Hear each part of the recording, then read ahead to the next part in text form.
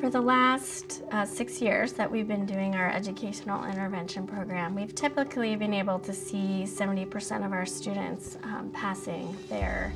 core courses. And that is without really knowing what has been working or not, just looking at what we thought was working and sort of doing interventions in a lot of different places. I really believe that in the next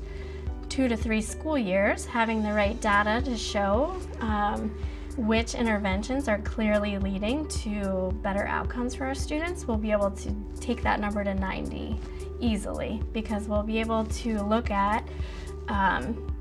you know, students that were receiving our advocacy interventions or um, our organizational skills interventions or our parent engagement interventions were more likely to pass their classes. And we can focus our energy and resources on those interventions versus the ones that weren't leading uh, to outcomes as clearly.